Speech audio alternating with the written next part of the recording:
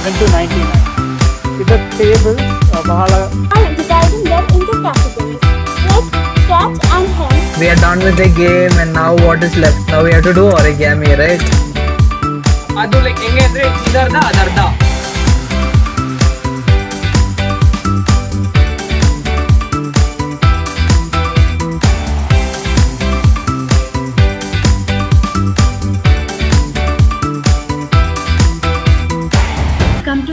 project uh, from CSA, really uh, hats off to the team. You are uh, con- connecting to us uh, day by day. experience has been amazing because uh, you know the kind of smiles which has already inspired us a lot and, and that was something which we were looking through the event because it's bachpan This was the perfect positivity that was needed during uh, times like these, uh, where you know um, the spirit of the community was brought together thanks to Bachpan Clinic.